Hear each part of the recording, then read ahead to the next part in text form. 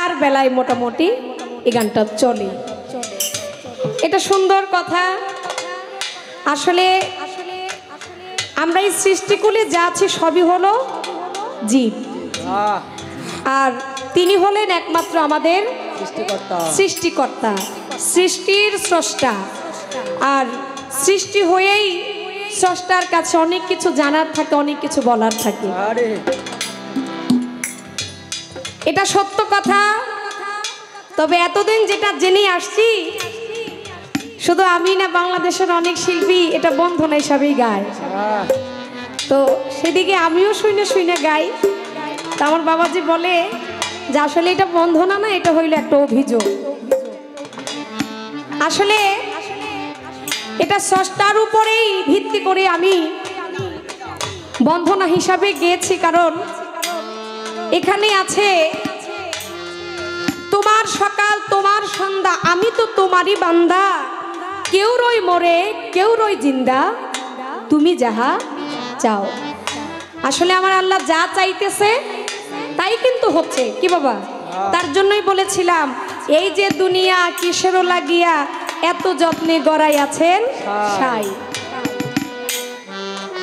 ছায়াবাদী পুতুল রূপে বানায়া মানুষ যেমনি নাচাও তেমনি নাচে পুতুলের কি দোষ? কারণ তিনি নাচাইতেছে আপনি আমি নাচতেছি।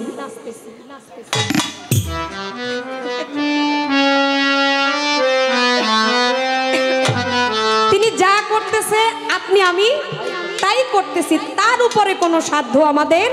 নাই। তিনি যা চাই তাই কিন্তু হয়। কারণ তার উপরে সৃষ্টির কোনো শক্তি থাকে না। ওই দিক হিসাব করে আমার বন্ধনাটা ছিল। যাক যদি বাবাজি বলে এটা বন্ধনা না তাহলে তো আমিও ওনার উপরে এক চামচ বাড়াই বলতে পারি না। কি বাবা? তো। যাক যদি এটা বন্ধনা না হয় তাহলে সামনের থেকে আর গাইলাম না। গাইলাম না। কি বলেন আপনারা? তো। যদি এটা বন্ধনা না হয় সামনে থেকে আর গাওয়ার দরকার নাই কারণ বন্ধনার তো অভাব নাই। অভাব। যেটা মনে চায় এক একদিন সেটাই গাই তবে কিছু কিছু বন্ধনা আছে আসলে আমাদের শিল্পীদের খুব পছন্দের খুব ফেভারেট তার জন্যই অনেক সময় অনেক বন্ধনা একটু বেশি গাই আর কি।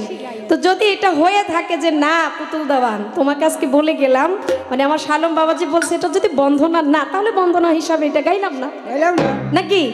যদি জীব পরমে যদি পরে এরকম যদি কোনোদিন আবার আপনার সাথে পালা হয় প্রয়োজনে সেদিন এটা আমি জীবের পক্ষ নিয়ে গাবো। আহ, গতবার গান করেছিলাম ডিসেম্বর মাসে নাকি নভেম্বর মাসে? দুই হাজার একুশ সালে। আমাদের সেই টঙ্গিতে না টাঙ্গাইল মির্জাপুর। তো সেখানেও গান করেছি বাবাজির সাথে নবুয়তার বেলায়ত পালাটা ছিল। সেদিন বাবা গাইছে বেলায়ত আমি গাইছিলাম নবুয়ত। তো আজকে সেই পালাটা আমাদের কর্তাপক্ষ থেকে দিয়েছে। আজকে পৃষ্ঠাটা উল্টায় গেছে। আহা, আমার বাবাজি তাকে দেওয়া হয়েছে নবুয়তের ভূমিকা। আর আমাকে দেওয়া হয়েছে বেলায়তের ভূমিকা। দুইটা চ্যাপ্টার। আপনারা যারা এখন বর্তমানে আছেন, যেই যুগটা, এই যুগটা হচ্ছে বেলায়তি যুগ। নবী যখন পৃথিবীতে ছিলেন, তখন ছিল নবুয়তি যুগ। দয়াল নবী বিদায়ের আগেই ঘোষণা করে গেছে এই বেলায়তের কথা। এই বেলায়তের দায়িত্ব সবকিছু দিয়ে দিলেন আমার হজরত আলীকে। হজরত আলী হইতে বর্তমান পর্যন্ত আমরা যে এখন চলতেছি এখন যে ফিরতেছি আমরা যা কিছু জানতেছি সেটা হলো বেলায়তের মাধ্যমে। তাহলে দেখেন বাবা আপনাকে আমাকে নবুয়ত এবং বেলায়ত দুইটাই আপনাকে আমাকে জানতে হবে। দুইটাই আপনাকে আমাকে মানতে হবে। আপনি নবুয়ত মানলেন আপনি বেলায়ত মানলেন না তাহলে আপনার নবুয়তটা পরিপূর্ণ হলো না। কেউ কেউ বেলায়তের মাধ্যমে থেকে নবুয়তের অনেক কর্মকে অস্বীকার করে সেগুলা করতে চায় না। না বাবা আপনাকে বেলায়তে পরিপূর্ণ মানুষ হইতেও গেলেও ওই নবুয়তের কর্মগুলো আমার নবী যাহা যা বলে গেছে আপনাকে সকল কিছুই করতে হবে। একটা কথা মনে রাখতে হবে যেই নবীর নবুয়ত সেই নবীরই হইল বেলায়ত। দুইটাই আমার নবীজি করে গেছেন নবীজি দুইটার কথাই বলছে। এখন আপনি আর আমি একটা চাইরা যদি একটা করি, একটা মাইনা যদি আরেকটা না মানি, তাহলে আপনার আমার জন্য কোনোটাই স্বয়ং সম্পূর্ণ হবে না। তার জন্য আজকে বেলায়ত পেয়েছি। আমি ছোট মানুষ, আগেই বলি। কারণ আমার পাশে যিনি আজকে বসছে, যিনি গান করবে, আমি একটা কথাই সবসময় শিকার যাই, এটা আমি বলি, মৃত্যুর আগ পর্যন্ত শিকার যাব। নিজের ভিতরে কোনো বাহাদুরি না।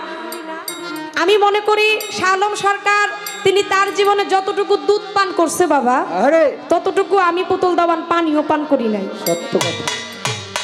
তাহলে তার পাশে কথা বলা কিছু রাখা এটা তো অনেক বড় ব্যাপার। আমি মনে করি এরপরও পালা যেহেতু আজকে দিয়ে দিয়েছে আমি ছোট মানুষ আপনাদের দয়ার আশীর্বাদে যদি আপনাদের সকলে যদি একটু ভালোবাসা থাকে খাজা বাবার যদি সুদৃষ্টি থাকে আর বাবাজি তিনি তার ভালোবাসার আদরে স্নেহ রেখে যদি আমাকে নিয়ে গায়, আমি হয়তোবা সেখান থেকে কিছু বলতে পারব, গাইতে পারব। তাই এবার বেলায়ত, যেহেতু আমার, আমাকে দেওয়া হয়েছে বেলায়তের পক্ষ নিয়ে আগে একটা গান, তারপর কিছু চাওয়ার আছে, সেই পর্যন্ত সকলেই মনোযোগ সহকারে